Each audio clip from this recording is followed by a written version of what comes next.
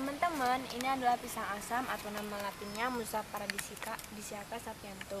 Tinggi pisang ini berkisar antara 2 sampai 4 meter. Mempunyai batang dengan ciri belang hitam di bagian pelepah daunnya. Rasa buahnya manis, sedikit asam. Tekstur buahnya lembek dan berair ketika masak. Di samping itu, buah pisang ini mempunyai aroma yang cukup wangi. Masyarakat daerah Lampung menyebut, menyebut pisang ini dengan nama punti pengapan atau punti pekos. Pisang ini adalah jenis pisang yang dikonsumsi ketika masak. Namun, di beberapa wilayah Lampung seperti Waikanan, Lampung Utara, dan Lampung Selatan, pisang ini sering, sering diolah menjadi larutan asam melalui proses fermentasi buah masak.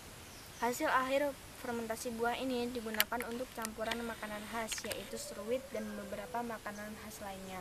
Saat ini, masyarakat sangat jarang membudidayakan pisang ini karena pisang ini bukan jenis pisang komersial, mudah busuk dan bertekstur terlalu lembek dan berair.